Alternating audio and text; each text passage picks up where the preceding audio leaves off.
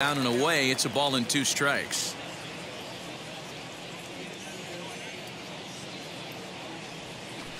A swing by Sanchez, and this one soaring out into left field. And